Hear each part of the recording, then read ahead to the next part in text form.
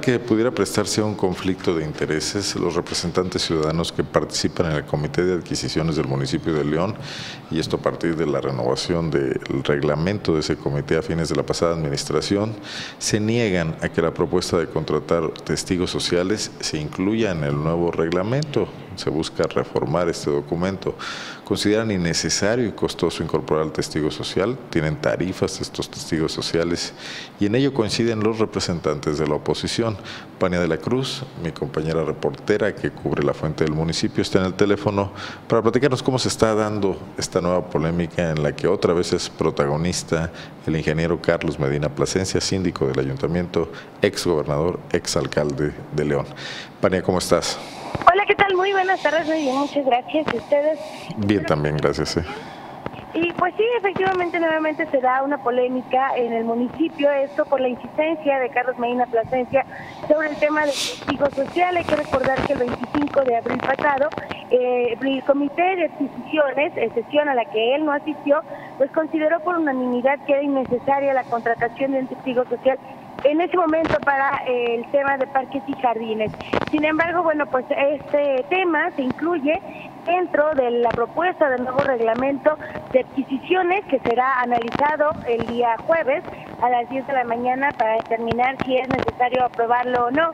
De acuerdo a lo que refieren los miembros del comité, pues no ven grandes cambios entre el reglamento actual y esta propuesta, eh, a no ser por este tema del testigo social que se incluye en el artículo 39 del nuevo reglamento. Lo que refiere estos artículos es que la Contraloría encargada de determinar quiénes son los testigos sociales, hacer el padrón y si es necesario también capacitarlos y la tesorería deberá fijar los montos de pago o de cobro de estos eh, testigos sociales. También se señala eh, los requisitos que deberá de presentar quien pretende ser testigo social y bueno, pues son los, los básicos, como ser ciudadano mexicano, no tener antecedentes penales, eh, no ser servidor público ni de México ni de otro país, eh, sobre todo y no haber sido en el último año servidor público, también eh, manifestar pues que protesta así la verdad y eh, que todo lo que ellos observen será entregado a la Contraloría para que la Contraloría determine si está haciendo con transparencia o no el proceso en cuestión.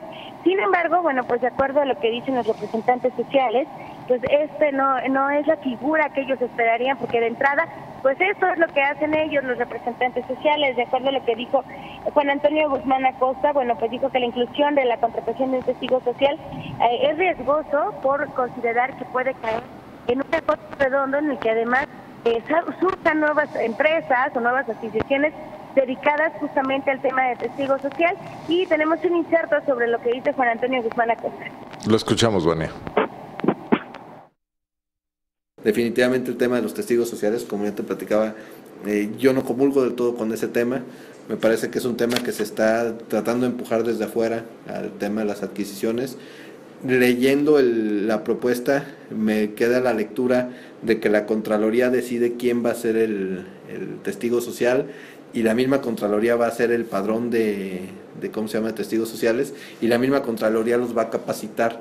Pero entonces va a ser un padrón, los va a capacitar, va a elegir quién va a destinar recursos para pagar y además el objetivo del testigo social es ayudar a la Contraloría a hacer su labor que tiene que ver con transparencia, que tiene que ver con la rendición de cuentas de los procesos, ¿no? Entonces, este, me parece como ilógico que te contrato, te capacito para que me cobres para ayudarme a hacer lo que yo, yo te estoy enseñando a hacer. Me parece que ese es una el gran tema donde yo creo que no estoy tan de acuerdo en la propuesta en ese sentido. Bueno, pues no, no le está yendo nada bien a la propuesta de Carlos Medina Plasencia, que parece ser que surge de un consejo que le dio al ingeniero Medina eh, Juan Antonio Martín, Juan Ignacio, perdón, Martín Solís, el, tesorero de Miguel Márquez Márquez Bania. Eso es lo que se ha comentado de manera extraoficial. Eh, algunos miembros del comité, pues eh, de lo que hablan, que esa propuesta no viene directamente de Carlos Medina, sino que fue pues presentada por Juan Ignacio Martín y que bueno eh, la bandera Carlos Medina aquí en el Ayuntamiento de León.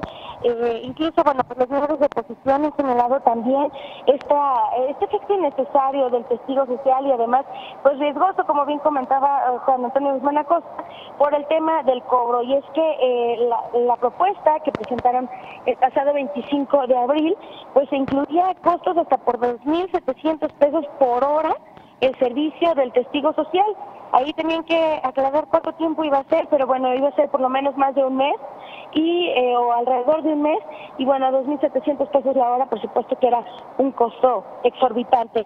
Sobre eso también habló el regidor del ayuntamiento, eh, Salvador Ramírez Argote, quien comentó que bueno, él no, no conoce los motivos por los cuales se insiste en incluir este tema dentro de la propuesta del nuevo reglamento y lo que él señala es que pudo haber sido un error. También tenemos un inserto sobre lo que dice Salvador Ramírez Argote.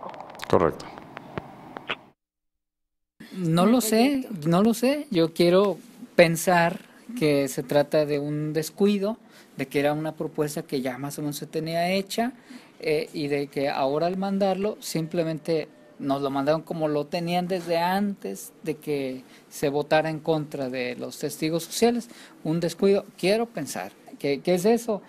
No sé, porque no, no concibo qué argumentos podría tener cualquiera de los eh, regidores, el síndico o cualquier miembro del comité para defender esta propuesta que eh, vimos ya que es indefendible. Indefendible, dice Salvador Ramírez Argote. Falta que los mayoriten, Vania.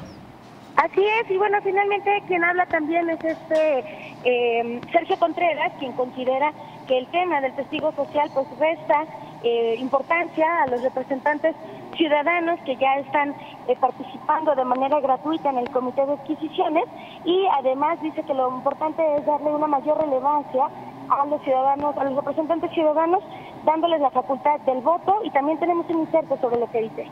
Escuchemos. Hoy te digo que este regidor del Partido Verde está en contra de que tengamos una figura que nos cueste una figura que ya la tenemos y que además yo estoy plenamente convencido y satisfecho en las personas, los hombres y las mujeres, ciudadanos que están en este comité y lo que yo propondría es démosles voz como la tienen, pero también por qué no voto. Bueno, va a haber mucho que discutir en ese reglamento, es el anteproyecto apenas. Exactamente, es el anteproyecto, esto se va a revisar el día de mañana, no, el día jueves, perdón, en punto de las 10 de la mañana, va a ser uno de los temas que se va a tocar en la sesión del comité, entre otros más, y bueno, pues ahí se darán las explicaciones, sobre todo las opiniones de los miembros del comité al respecto. ¿Quién, quién elaboró el anteproyecto? Digo, Medina sugirió lo del testigo social, pero no elaboró toda la propuesta, ¿no? Es un articulado amplio. Lo hace eh, función edilicia y jurídico, de acuerdo a lo que ya se tenía en el anterior reglamento, nada más incluyeron estas modificaciones. Muy bien, Vania. Vamos a estar atentos a la discusión porque, bueno, el tema de las adquisiciones fue complicado con Bárbara Botello, fue polémico, hay sospechas sobre cómo se llevó a cabo la compra de los servicios y bienes que el municipio requiere, pero cuando empezó esta administración, la polémica no se fue, ahí quedó.